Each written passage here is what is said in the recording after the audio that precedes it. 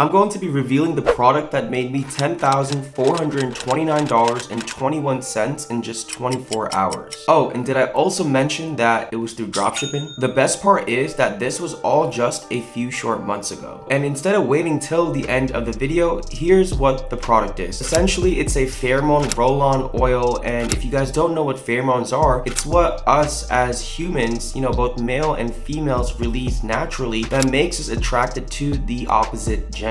So this product is made for women, and once it's rolled on, once it's put onto the skin, it can go ahead and attract men. Okay, I think I'm very generous and kind for doing that. However, you still want to go ahead and watch this entire video because I'll be covering on how I found the product, how I beat my competition, and what you all want to know, how much I exactly profited, not only for that day, but overall while running this product.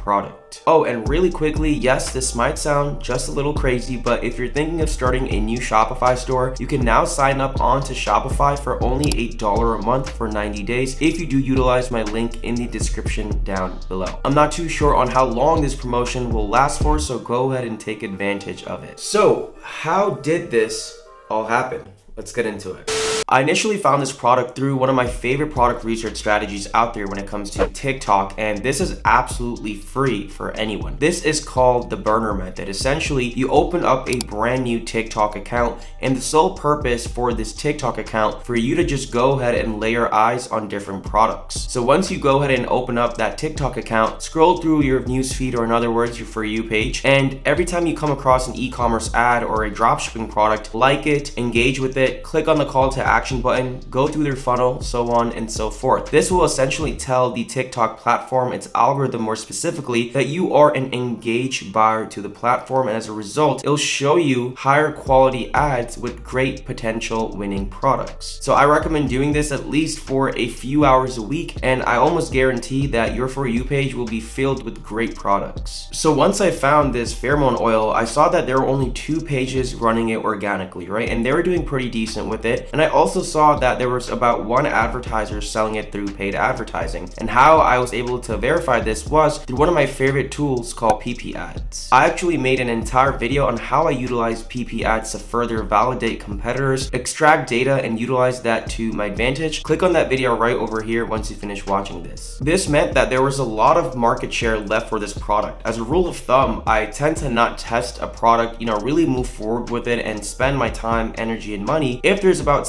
seven to eight advertisers behind that product, seven to eight competitors behind that product somewhat at scale. In this case, sure, you may get a few lucky sales here and there, but the scalability, let alone the longevity, will definitely be very limited when it comes to these types of products. So point is, ladies and gents, you don't have to be a pioneer. You don't have to go ahead and reinvent the wheel, so to say. As long as it's working for a few people, even if it's two people, you can go ahead, swoop right in and make it better. And that's exactly what I did. When it comes to testing products, right? It can be any product, and this is exactly how I started out for the pheromone oil. I always test on something called general one product stores. This is neither a general store nor a one product store. Bro, what are you talking about, man? It's more so of a hybrid store, right? It's one of the best and most efficient ways to test new products when it comes to Shopify dropshipping. And the reason I say that is because it allows you to stay flexible, right? It allows you to test multiple products in different niches without having to change any of the brand assets such as the logo or anything like that. Now, granted, once you find something that's really working, that's, you know, established its proof of concept, you can no doubt transition to a one product store that's really kind of honed around that one single product. And this is exactly what I did after the day two mark of testing this product. This essentially encompassed that authority around my store and it really gave a sense of confidence and trust when customers did land upon it. So here you can see a quick glimpse of the overall website, the product page, but doing this really made me look like the the OG of the product and as a result, increased my conversion rate by the end of that first week. Now, despite having a pretty sexy website, a nice looking website, the main thing is the offer. That is solely is what's going to make that customer pull that trigger at the end of the day. Now, it's your job to really recognize the nature of the product and decide this. So hear me out. For something super low ticket like this, my private agent quoted me $3.90 per unit landed and $5.50 for two units from a single order, which means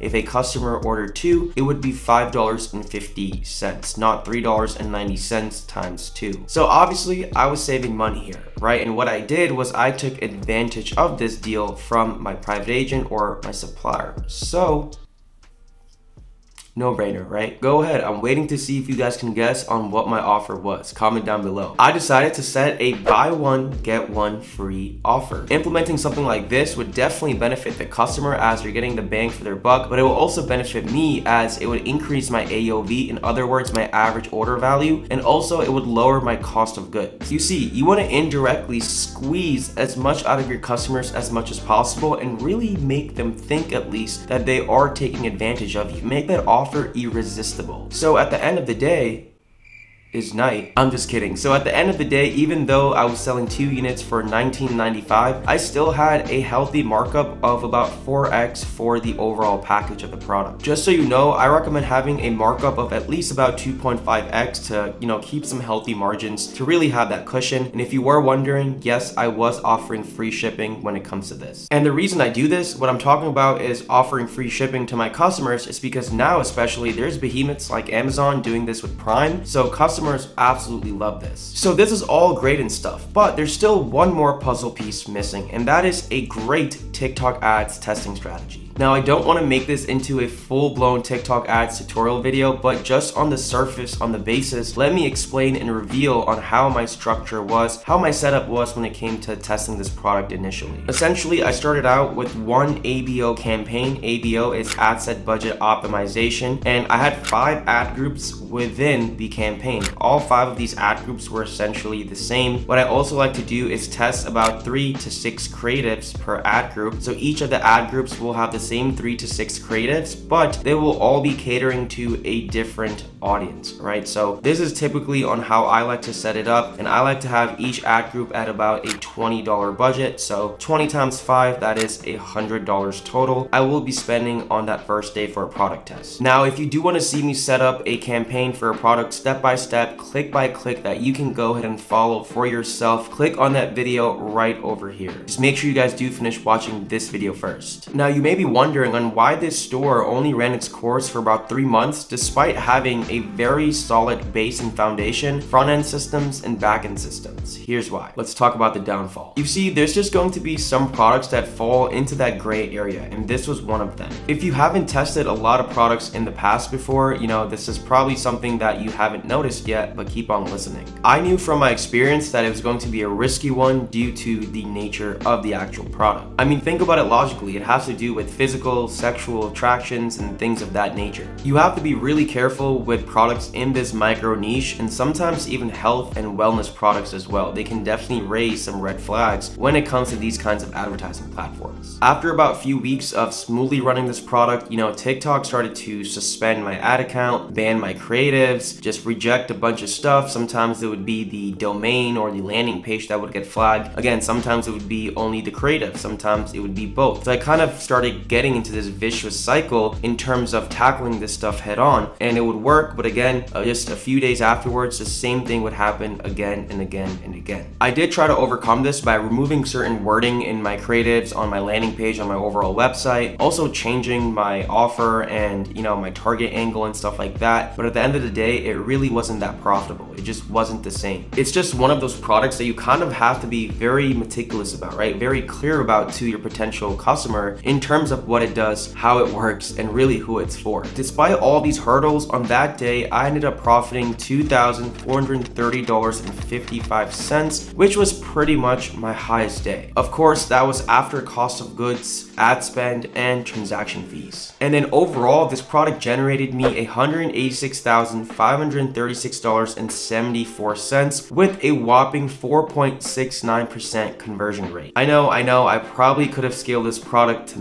millions in the multi seven figure range, but it is what it is. It is what it is. It is what it is. Have fun with the process. Learn, improve, and grow. And more importantly, I would say always be the student because after each product test, after each product scale, I promise you, you will learn something new to implement for the next time. So yeah, it's true. Good things always take time. Until the next one, your boy's out. Peace.